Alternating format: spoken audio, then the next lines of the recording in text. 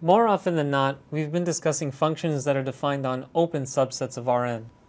But sometimes we want to look at functions that are not just defined on open subsets, but specific ones that maybe look like surfaces or curves or other generalizations of this concept, which we will actually define later on in a few videos of what a manifold is. But before we do that, let's just make an impressionistic viewpoint and let's consider uh, a torus. So this is a surface um,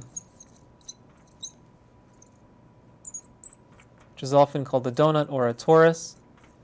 And it's hollow, so we don't actually include the interior of this. So this is a surface that, um, for which we don't actually, when we slice it, all we have are these circles, or, well, actually, we'll see in a moment what we, what we have um, what are our cross sections of this uh, subset of R3. And imagine it's embedded in R3 in such a way that, uh, let's say, the axis is directly in the middle for simplicity. And maybe it looks something like this.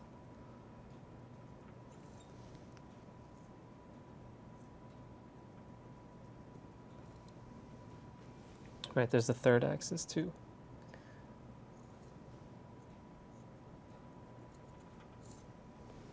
So we have this torus in R3, and let's look at a very special function on this torus. And what this function is going to tell us is just going to tell us if we pick a point here, what is the height of this point? We don't care about what its direction is or what its position is in the xy plane. So here's, by the way, is x, and here's y, and here's z all we care about is uh, what's the height. So we project from this subset, let's call this function h, we just project from this subset to the real line, and it just reads us the height of the point that we're looking at. And let's focus a little bit on looking at images, looking at certain points in the image of this function. If we look at the inverse image, so we look at all the points that get mapped to a specific height, this traces out sort of a curve on this donut. So we take this slice, we, take, we can think of it as taking the xy plane, shifting it to this height, whatever this height is, and then slicing this torus, and we look at that cross section. And that cross section looks something like a circle. And what happens, and what we want to look at is we want to look at how this surface decomposes as we change the height and we take these cross sections. So we'll notice that if we first, if we chose a point that wasn't even in the image, we would get the empty set as our inverse image. If we chose a point that was directly at the highest position, we would get a single point. And as soon as we move any amount down, we'll immediately start getting a, a circle. So let's go a little bit further, uh, and let's see what happens if we choose a point, let's say over here. We look at the inverse image, and I take this slice. It might be hard to visualize from this picture, but we get sort of um, still something that looks more or less like a circle, but it wobbles a little bit. Maybe looks something like that. And then let's go even further. Let's take yet another inverse image, this time at a very special point. It's at a point, you know, before we even do that, let's look at what happens if we take a point in the middle, just so I can have some anticipation so you can maybe guess what happens.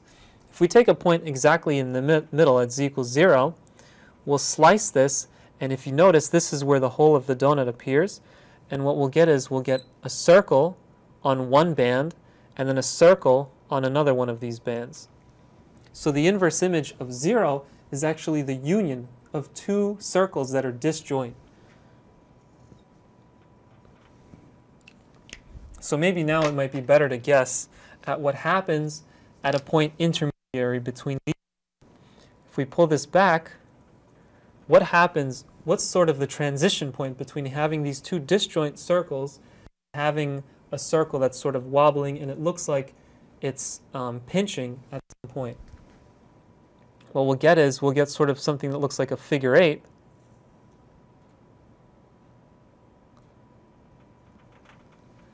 In that position. So it looks like two circles that came together and met at a single point. And we can keep doing this, um, and we'll sort of look at our surface through these slices. So what's special about the difference between some of these um, subsets of the torus uh, is that very often what happens is, is that if we look at these um, slices, it looks sort of like they have a fixed dimension, and at every point near along one of these lines, it looks exactly like an ordinary curve. Even when we go to the second stage, this looks still like, like an ordinary curve, but as soon as we hit this particular point at which it looks like these two circles are coming together and they intersect exactly at one point, it no longer looks like um, as if it's just a single curve going through um, the point at which the intersection takes place. It sort of looks like there are two curves and they meet at something that looks like an x. Um, and such a such an object is doesn't look locally like an ordinary line um, but all of the other ones do. And so some of the observations we make from looking at this picture is that for a function such as the projection function, which is an example of a differentiable function, the inverse image of some of its points, in fact, it looks like most of them, are actually lower dimensional sort of sub-manifolds. Whatever that means, it's something that looks like it has one fewer dimension, and it looks like a line if I zoom in close enough, except for some very special points. But the important thing about these points is that there are very, very few of them. And later we'll prove a theorem that tells us that actually the set of points at which the subset, the inverse image of these points are not manifolds has measure zero, which means you can almost never find it. Another way to think about what measure zero means is if you were to pick something at random, you would have probability zero of picking it if it had measure zero. So what we have here is, if I call this point, let's say I choose any one of these points and I call it c, we have a function h of x, y, and z, and z actually happens to be c as well, so we can ignore this third component and we get some value, some constant value c. And what we can also do is we can look at this subset, now since we think of it as a function of just two variables, we can look at this subset of R2. that's the slice at which we cut this at, and we have a function of two variables, we can ignore this one, that equals some constant.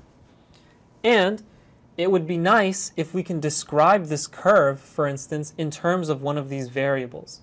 So if I had a curve that looked maybe something like this in the plane, and I knew that this was actually um, the pre-image of some function at a fixed point c, I might want to know if, if I plotted the xy plane here, if I could describe what this curve looks like in terms of one variable. So if I can write this as a function of y in terms of x or x in terms of y, and when you could do that. Clearly you can't write this as, you, you can't write this entire function as uh, a single function of the variable x because, uh, for instance, it doesn't pass the vertical line test. Um, but what you can do is locally at any point here, you might be able to find a neighborhood in some domain and a function that describes this curve. And you can check, you know, locally around some fixed point. Yes, it does make sense to talk about this function. It completely passes that vertical line test. And we can do this everywhere, at least for a function y of x, until we reach this corner over here. Not this corner, but this rightmost point. So we reach this point, no domain on the x-axis will allow us to write this curve as a function of that variable. However, we can write it as a function of the other variable by simply tilting our heads and writing this position, finding some neighborhood here, and writing this curve as a function of y at this point. So we can sort of describe our curve by different functions restricting to different domains depending on certain conditions. And the question is, what exactly are these conditions? When can you do this? How general are these results? Do I, can I only do this for functions of two variables? What if I had 17 and I wanted to solve for, let's say, the first four in terms of the last 13? Can I do that? When can I do that? What are sufficient conditions that allow me to do that? And the implicit function theorem is going to exactly describe to us what these assumptions are.